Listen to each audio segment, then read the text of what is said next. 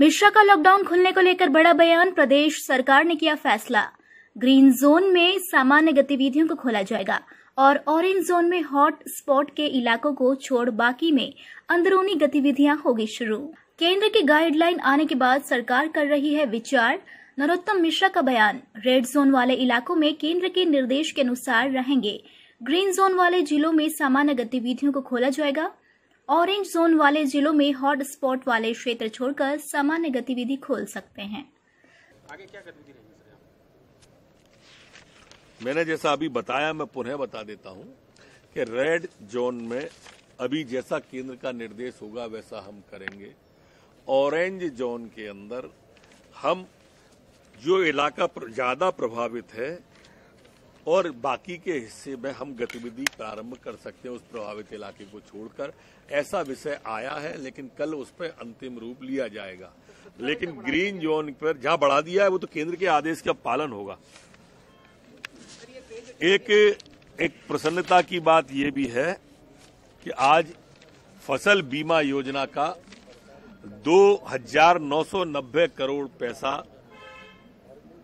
किसानों के खाते में माननीय मुख्यमंत्री जी के द्वारा डाल दिया गया है। तीन लाख अट्ठारह हज़ार मैट्रिक टन गेहूँ सिर्फ़ एक दिन में खरीदा गया है और अभी तक कुल 28 लाख मैट्रिक टन गेहूँ किसान का खरीद लिया है। दो हज़ार रुपए करोड़ का भुगतान किसान के खाते में भेज दिया गया है। मैंने तीन बातें इसलिए कही कि ये तीनों हमारी बड़ी आबादी की आर्थिक गतिविधि को संचालित करने वाली बातें हैं। 2,990 करोड़ आप सबको मालूम होगा कि ये पैसा माननीय शिवराज सिंह जी ने मुख्यमंत्री बनने के बाद आके बीमा के जो 220 करोड़ रुपए जमा किए तब जाके वो मिला है। कांग्रेस की सरकार ने ये पैसा जमा नहीं किया। इससे बहुत ज़्यादा नुकसान प्रदेश का हो रहा था जो शिवराज सिंह जी ने संभाला।